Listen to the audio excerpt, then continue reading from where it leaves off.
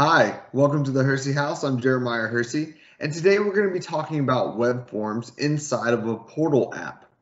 So the different there's two different types of forms you can use inside of a portal app. You can either use an entity form, which comes from your actual form that you create inside of your table, and then there's a web form which still uses the a form version that you create but essentially you can create a step-by-step process inside of your portal for your end users.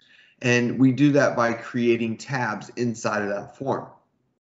So let's take a look at make.powerapps.com and get started. So here we are at make.powerapps.com and I've created a portal application, but I currently do not have any forms um, inside of my portal app. So just click clicking this to show you what it looks like. So here it is. Uh, if I go to this page I created applications, I just have these two views. So that's all I've created inside of my portal app. So what I want to do first is I want to create a version, a form that I'm going to use for my web form. So what I'm going to do is I'm going to go inside of my solution where my table is located. It's my financial aid application table. And I'm going to create a new form that I'm going to use as my web form. So I'm going to go over to forms. We're going to add form. And we're just going to add a main form.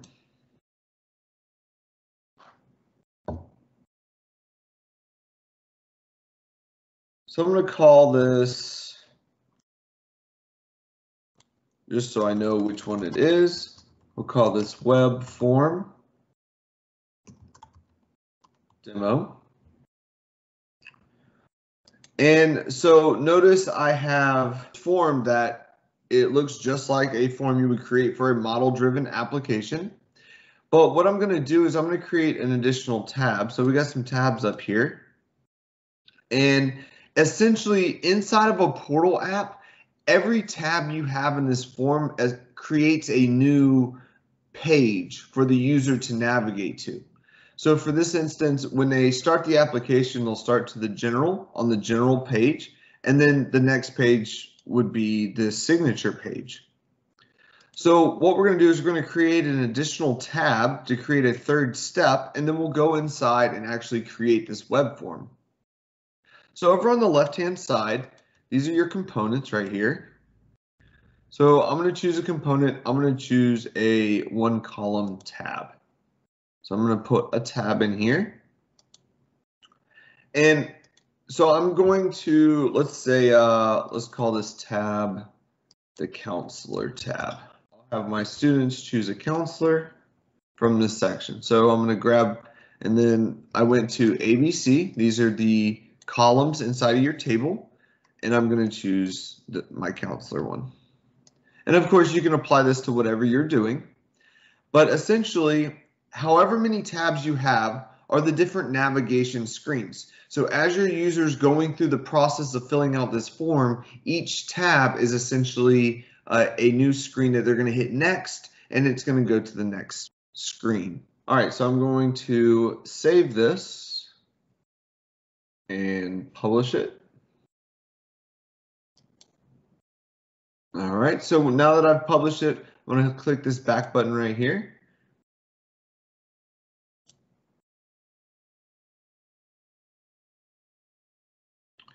All right, and we can now see that I have my web form demo.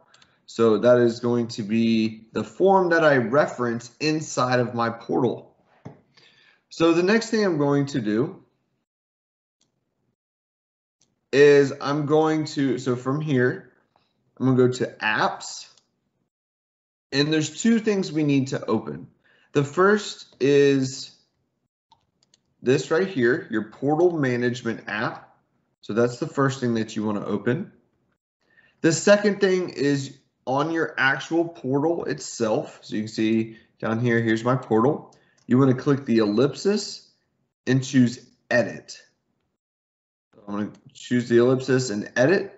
So that's going to open up this screen right here where your applicate where your portal is available. And then right here, this is the portal management app that it's going to open up.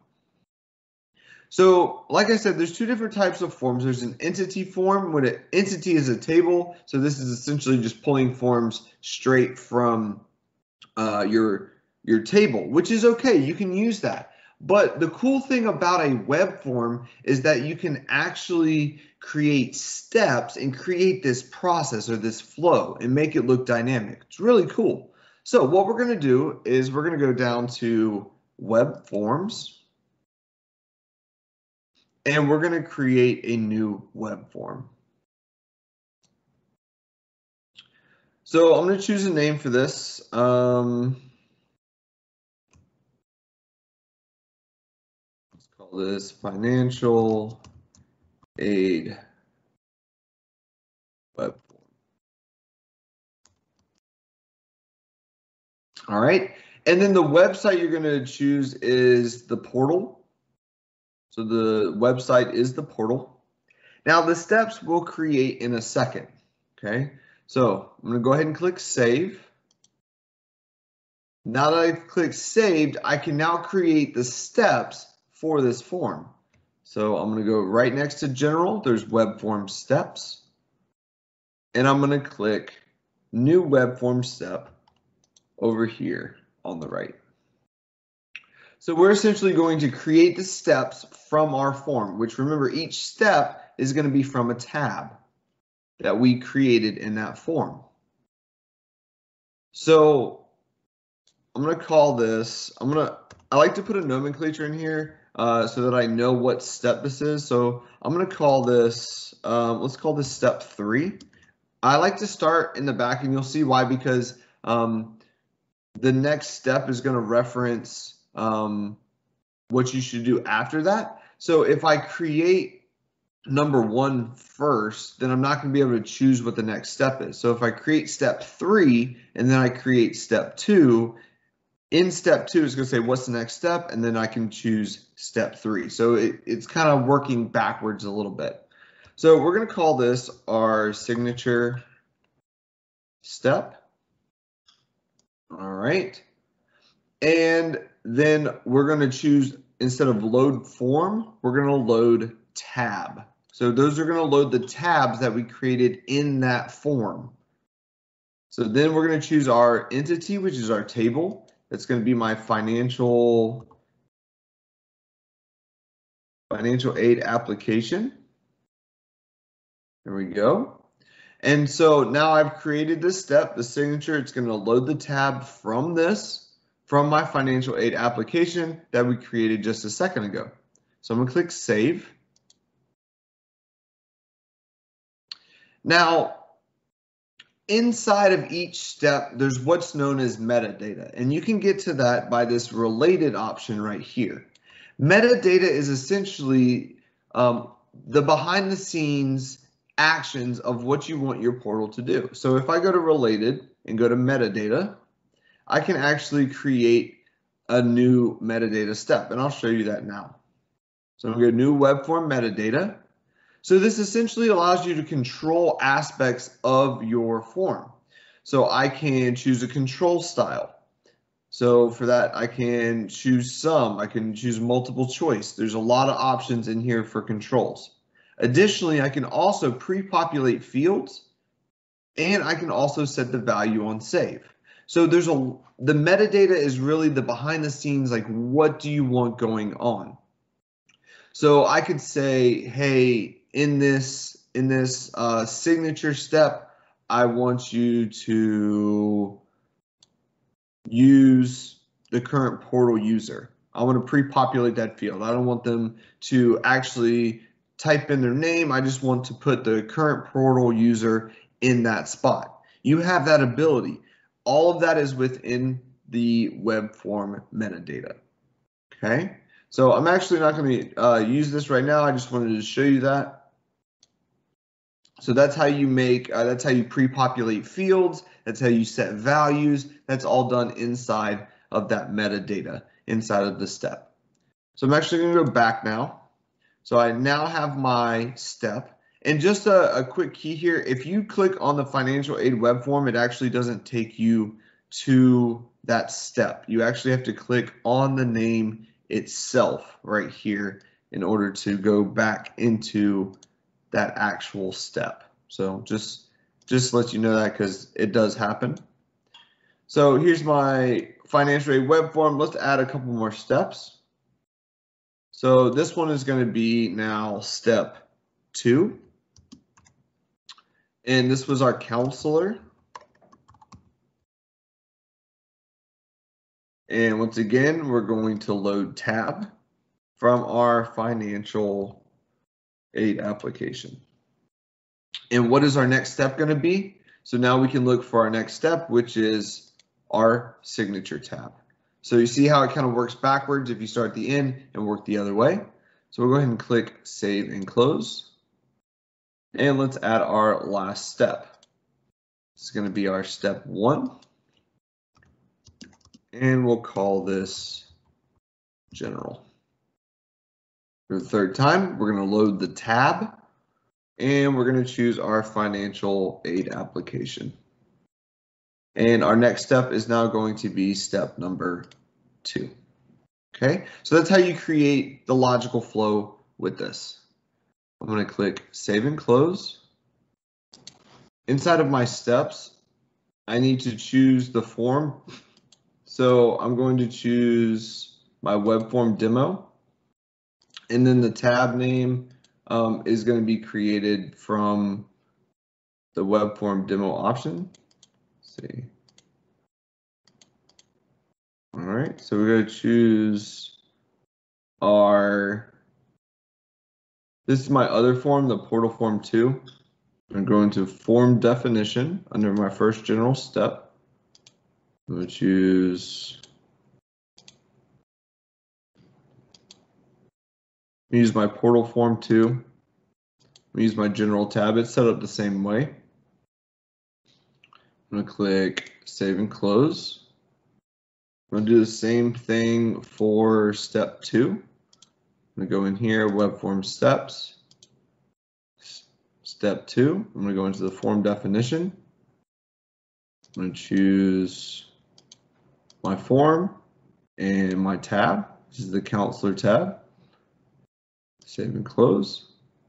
And then go into step three, form definition. My form, the step, and save and close. So now that I've done that, my financial aid web form is now linked to the specific form and the tab that I want it to. So now, so on the left hand side, we're going to add a one column section.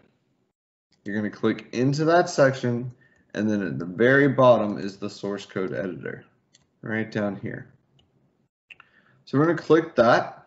You're going to scroll all the way down until you see these two little marks right here. Okay, so that's where we're going to put our code.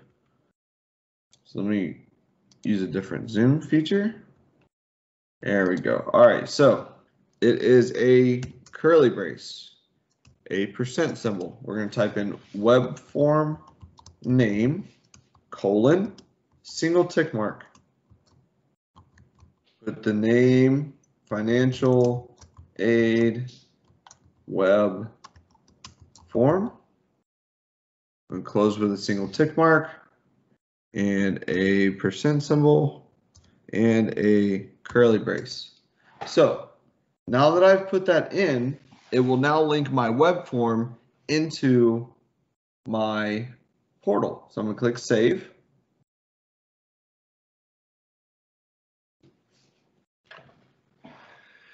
and we're going to go ahead and browse the website.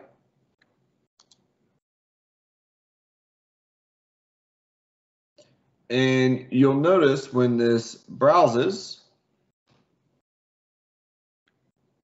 my application now starts to show up. So I have my student, housing required, no or yes, and then my district. I can go on, this is a required step, so I'll just select me for now, select a district, I'll say district one, I'll click next. Remember my tab, so the next tab is going to be my counselor. Notice counselor right here.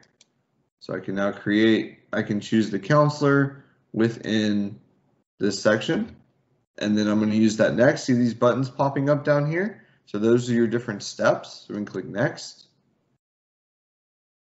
And there's my signature. And then finally, we can submit it into the record. So submit and it'll put my application in there. So I know this was a little bit long of a video.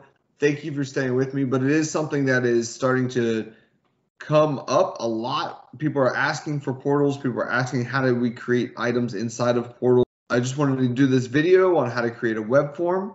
Hope this helps. See you next time.